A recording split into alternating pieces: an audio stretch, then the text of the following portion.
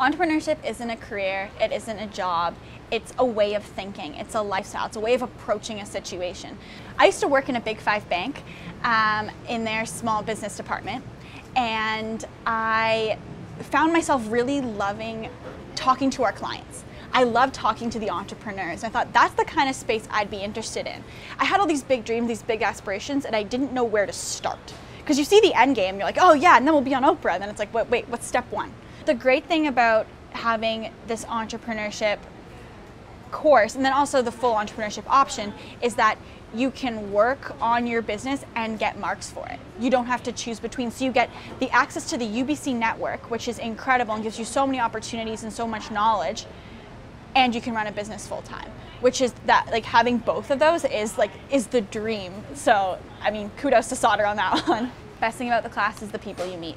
So you've got from the professor to the peers in your class to the guest speakers that come in. You're just building this network of people who are in it with you from the start and really want to see you succeed, but also have this wealth of knowledge that you never had access to before.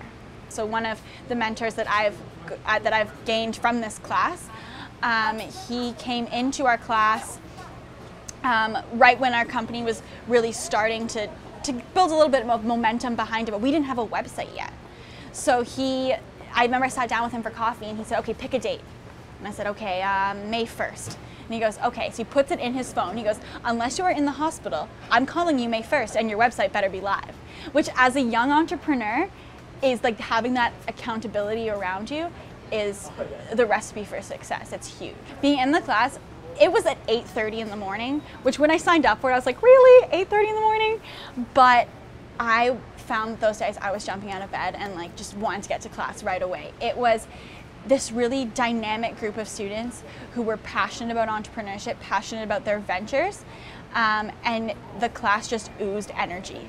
Once you kind of realize what it takes to be successful and how with the support network you have and with the knowledge that you've gained, how achievable that success actually is, then you go, well, why not go for more? Why not get bigger? Why not expand into this? Why not explore that? Um, because it becomes, it, it, almost the ambitious becomes realistic, which is the dream, because then you can dream even bigger and get even bigger and do more cool stuff. So, and that's the goal in the end. You just want to do cool stuff.